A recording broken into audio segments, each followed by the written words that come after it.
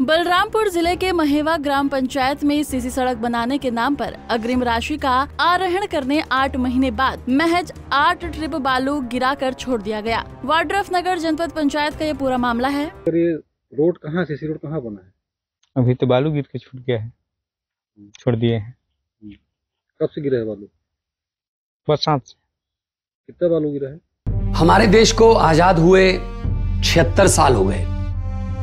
लेकिन कई चीज़ों में हमको अभी आज़ादी नहीं मिली।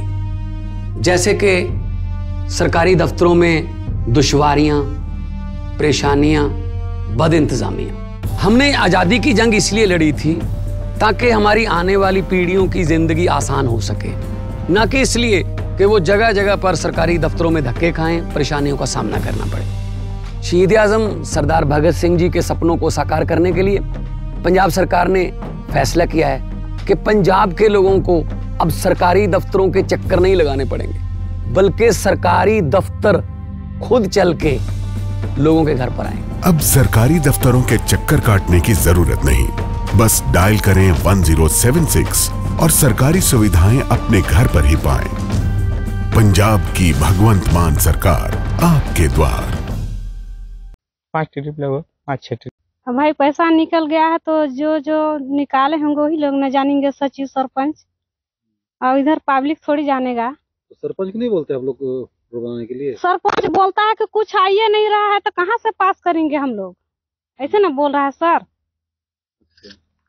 वो तो पैसा निकल गया दो लाख रुपया उसमें रोड के नाम से। तो रोड के नाम से निकला है तो हम लोग थोड़ी जान रहे हैं। ऐसा सरपंच बन गया है कि उसका मतलब गाँव गली से कोई लेना देना नहीं है। चाहे कोई भी, कोई कहो, महेवा के अंदर कोई भी सरपंच बना है, इस गाँव का कुछ हो ही नहीं रहा है। रविंद्र पटेल के घर से लेकर महुआरी पारा तक सीसी रोड निर्माण के लिए पाँच लाख रुपए की स्वीकृति प्रदान की गई थी, लेकिन काम नहीं हुआ। पंचायत के सचिव और सरपंच की मिली भगत से मार्च 2023 में अग्रिम राशि के नाम पर दो लाख रुपए का आरोहण कर लिया गया है। ग्रामीणों ने पंदरबाट का आरोप लगाया है। वहीं गाँव के सरपंच पति का कहना है कि सीसी रोड निर्माण के नाम पर अग्रिम राशि का आहरण किया गया था, लेकिन चुनाव की व्यस्तता के कारण सड़क का निर्माण नहीं हो पाया है। सामग्री के लिए सात बालू वहाँ पे गिर चुकी थी और अचानक बारिश आ गई, इसके कारण रुक गया काम और चुनाव में व्यस्तता होने के कारण काम को नहीं करा पाया हूँ।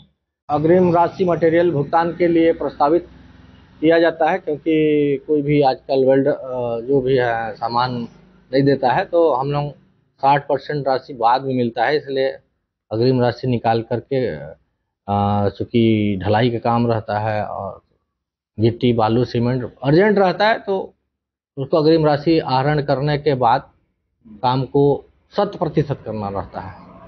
मामले में अग्रिम राशि का आरोहण के बावजूद भी कार्य नहीं किए जाने को लेकर अब जनपद पंचायत के सीईओ ने जाँच के बाद कार्रवाई की बात कही है।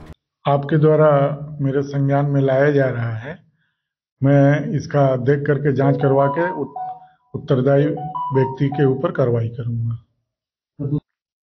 ये जो भी आप बातें मेरे को बता रहे हैं, मेरे संज्ञान में नहीं है। मेरे संज्ञान में आपके द्वारा लाया जा रहा है। मैं इसमें जाँच करवा करके जो उत्तरदायी व्यक्ति होगा उसके ऊपर कार्रवाई करूँगा। देखना होगा कि मामले में आरोप सामने आने के बाद कब तक कार्रवाई हो पाती है।